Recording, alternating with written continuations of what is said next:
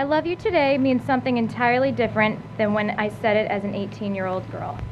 I love you today means that here on our wedding day, there are things our relationship didn't possess back then. There is 100% trust, there is vulnerability, there is brutal honesty and rawness that allows me to truly know your soul and for you to know mine. There is laughter over things that no one else understands. It means that when I look at you now, as the man that you are, I see someone that I truly can't live without. So, because of this, I vow to always love and respect myself very much and not rely on you to ever complete me. I want you to be the person forever who desires to but doesn't feel obligated to. I want to be my best me for you. I vow to never intentionally hurt you. I vow to practice my patience.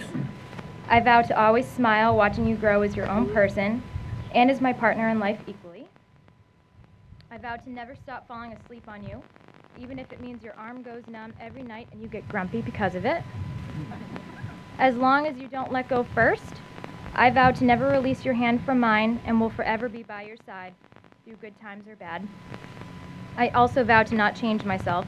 I will forever be your social little butterfly. I vow to be the best mother I can be to any little miracles that we might create together. If you vow to not call me a nag for the rest of our lives for asking you to take the trash out, I vow to keep our happy our home happy and clean and our bellies full.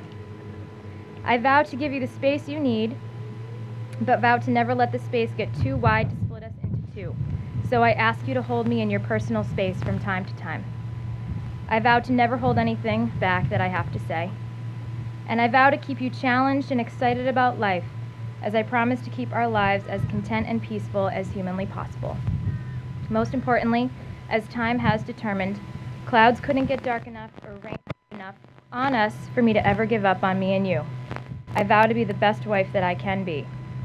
We didn't swim through clear waters. We actually made plenty of friends with the gators on our journey through some of the murkiest swamps. With our own two hands, it took a long time to pave our road. But I vow because of it that I have the utmost gratitude and appreciation for promising myself, finally, to you, and only you, for the rest of my life and beyond. I promise to graciously gain 50 pounds with the forceful feed, overfeeding habits you set forth for me. I promise to no longer question the portions you've prepared and expect me to finish and promise to no longer defend myself when you turn snooty and insist that I must not like it and I'm able to finish one pound of a five pound dinner. While accepting and practicing those aforementioned promises, I also promise to chew my food normally and will accept your feedback and stare down because you claim that I'm a loud chewer and that it disgusts you.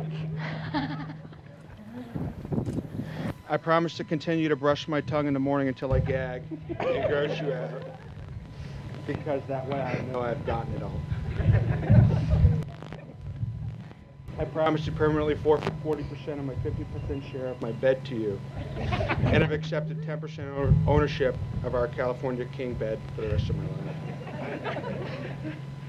I promise to continue leaving puddles on the bathroom floor when I get out of the shower. It should never that maybe you'll fold my clothes after they've been cleaned because I hate doing it that much. I've realized that leaving them on the floor for weeks hasn't worked. So will be formulating several different approaches over the course of my life.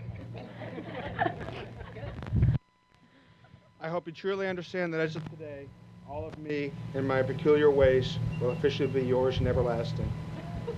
And with all of the disclaimers out of the way and keeping in mind that somewhat unforeseen habits may develop and will most likely irritate you, I'll proceed with a more traditional vow you. It's very simple. Okay. I, Shane, take you, Megan, to be my lawfully wedded wife. To have and to hold from this day forward, for better, for worse, for richer, for poor, in sickness and health, was part.